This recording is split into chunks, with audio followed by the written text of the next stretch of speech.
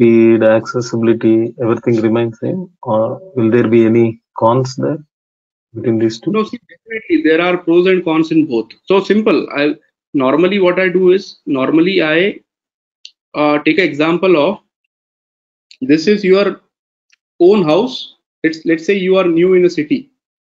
Let's say you got a new job in Mumbai and you have two options. Option number one, you buy your own house. Okay. Option number two, you take a house on rent. So definitely there are pros and cons of both. If you buy your house, number one, you need to pay upfront amount. Okay. But the pro- the good thing is that it is your own house. You can change the structure the way you want. You can change the, the color of your house. You can do whatever you want because it is your property. When it comes to the rented house, the good thing is you don't need to worry at all. You just need to pay the monthly charges, whatever monthly, quarterly, yearly charges you agree. Okay, but the problem is you would not be able to do anything. You will not be able to change anything in the house. You will not be able to change the color of your house.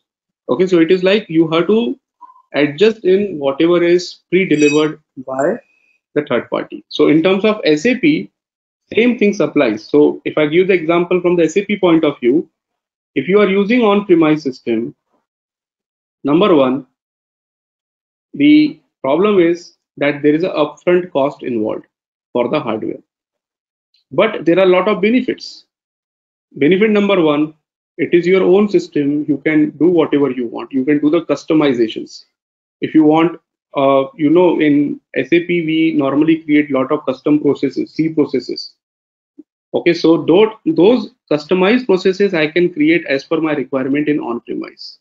When it comes to cloud, I cannot create the custom processes. I have to use the processes which are already provided by SAP. I cannot include my own custom processes. Okay, at the same time, the maintenance. Okay, so I will get a mail from SAP that the maintenance is scheduled on this particular date. I don't have the control to that. It is SAP who's taking care of the maintenance. Here, I can decide when I want to do the maintenance, when I want to do the downtime. This is all up to the customer to decide that whether I want to do the maintenance activity on which date, whether I want to do this maintenance activity on uh, the nights or on the days, it is up to the customer. Here, it is up to the SAP. SAP will decide when the maintenance will be carried out. SAP will decide when the system will be down. Okay, those all things falls under SAP. And also, just understand one thing, it is not only hardware. If you are buying SAP S4HANA on-premise system, then in order to maintain that hardware, just buying the hardware is not enough. You need to maintain it also. So you need a team who would be responsible for the server maintenance. In case of cloud, you don't need to worry about that because you don't have the hardware. Hardware is being maintained by SAP itself. So in short, my recommendation would be if a customer is a big customer, okay, and if the customer is not happy with the standard functionalities which are provided by SAP, in that case, definitely go for on-premise. But if a customer is a small customer, they don't have that much budget to go for the hardware cost, even the team that they don't want to hire. So in that particular case, there is no other option. Uh, but only thing is they need to follow whatever is available in the standard product. You cannot make any modifications in the system. Okay, and if you are okay with that, then only you can go for cloud. Yeah, uh, why we cannot uh, do customization in cloud? Means we are Cloud we will be Uh, we will check be cloud. your application only, na? No, no, cloud is a shared system. Cloud is not something which is you are only using. For example, as I told you, Gmail. If I oh, sorry, there is some background noise. Yeah. So, for example, Gmail. Now, is it Gmail is only used by your organization or only by you, or it is being shared by million billions of other users also? It is being shared, right? So, if I make any change based on your request, what will happen? It may impact the other company. Okay. So. I'll, I'll give one example. See, normally, if I buy the hardware, I can support up to 1000 users. If I buy my own on-premise hardware, I can, at any point of time, my 1000 users can work on that system. Now, when SAP will set up the cloud system, it has the capability of 1000 different users who can log in. But my company is small. I only have 50 users. I have a requirement of 50 users. So SAP is not going to give me the dedicated client for that.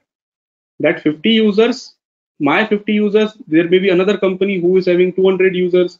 There may be third company who may be having 500 users. So all this thousand users are working on the same system which belongs to different company. So if I make any change based on the request of one company, that may impact the other company also, right? Even if it's private cloud? No, private cloud is different. If it is a private cloud, then it is not called as S4HANA cloud. When we are talking about SAP S4HANA cloud, this is not a private cloud, this is a shared cloud. If it is private, then it would be on-premise system hosted by the third party. Okay. Is that a fourth kind uh, or is it the same as on-premise? So don't get confused here with the private cloud. Okay. So when we say for If it is a HANA, private cloud, it is same as on-premise. You are getting full flexibility. Yeah, normally when we say SAP S4HANA cloud, this is a cloud which is being shared by multiple customers. And that is the reason there is no flexibility to modify. There is no flexibility to change according to your own requirements. You have to use the standard best practices. okay. In in private cloud, Okay. only thing is your infrastructure is on the cloud. Uh, rest all control is with you. Exactly. See, there are, I don't want to confuse because there are many beginners here. That is the reason I am restricting this discussion to this much. But we have a topic. Once we complete our uh, uh, basic things, towards the end, we will be discussing these things in detail. But just to, since you asked, let me uh, tell you one thing. Maybe if some of you are not able to understand, no need to worry about at this moment. Let's understand what is another option of cloud. See, here what I'm saying is, if you are going for SAP S4HANA on-premise, from SAP you are only purchasing the software. Hardware, it is your responsibility to manage. SAP is not responsible for your hardware. SAP is only responsible for the software if you are buying the on-premise license. On the other hand, if you are going for SAP S4HANA Cloud, SAP is providing you the hardware as well as software. Now I want the third option. Okay, I am a customer. If I am going to SAP for the hardware, let's assume SAP is charging more for the hardware. So what I'll do, I will buy SAP S4 HANA on premise from SAP. Okay. SAP will tell you you manage your own hardware. But again, I don't have the capability to buy my own hardware. So what should I do? I will go to AWS or I will go to Google Cloud. I will tell them I have my SAP S4 HANA on-premise license, but I want to deploy on your hardware. So I'll pay you whatever is hardware cost, but I want to deploy this on-premise system on your hardware. This is just an example. So in this case, I am managing the hardware from third party, not from SAP directly. And that is the reason I can continue to use my SAP S4HANA on-premise system. So hardware is being provided by the third party. I am buying SAP S4HANA on-premise license. Since I am using SAP S4HANA on-premise, I don't need to worry about the changes. Whatever customs I want to write, I can do that easily in my S4HANA on-premise system.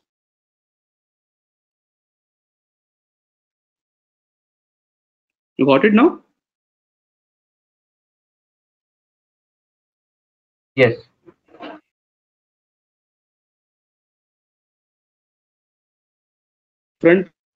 Okay. So these are different deployment options that SAP provides. We have a, a deployment option which is on premise, on cloud. So these are the two. Hybrid is just a mix of both. So I gave you the example. You are implementing SAP S4HANA on premise for the core business processes, but you are also using uh, Ariba, Hybris, SuccessFactors, which are the cloud-based functionalities. So if you club both, if you club on-premise to your cloud applications, your system will become hybrid system. So hybrid is nothing but combination of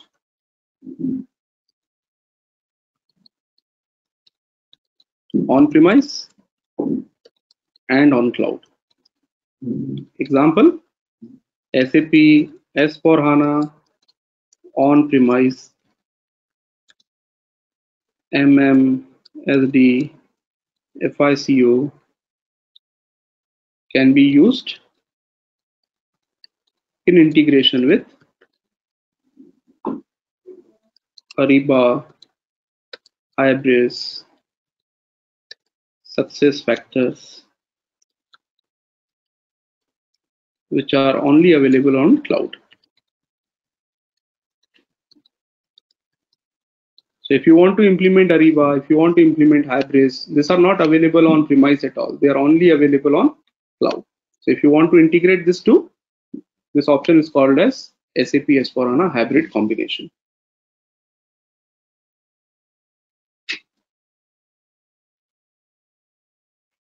Okay. Let's go to the next slide.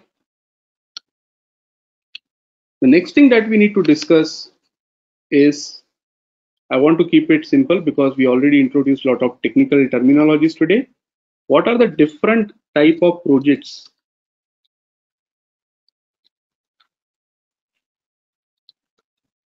in SAP S4HANA? Whenever you will be working on SAP S4HANA, what are the different types of projects that you will be working on?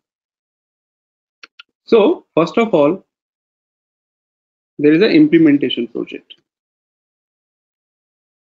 okay. Second is support project. Number three is rollout. And number four is development project. Okay. These are the four types of projects where whenever you are working on sap when you say i am a sap consultant i'm working on sap consulting these are the four options at any point in time you would be working on Number one, implementation. Implementation means customer is implementing a new SAP S4HANA system. Okay, this customer is implementing a completely new SAP S4HANA system. So this is called as an implementation project. For example, those companies who are currently not using SAP, they are growing and they decided that now there is a need to use a better software. Okay maybe they were using some third party softwares erps till now. And now they decided uh, for our better reporting we want to implement sap s4 hana so they will go for the implementation projects. This is called as the implementation project. Number two is support project Support project means customer already implemented SAP S4 HANA. See, whenever I'm saying S4 HANA, maybe let's do one thing because this is common. It is not necessarily needs to be S4 HANA. Let's talk about SAP itself. It is not necessary that implementation is only on S4 HANA. So it is common for all SAP things.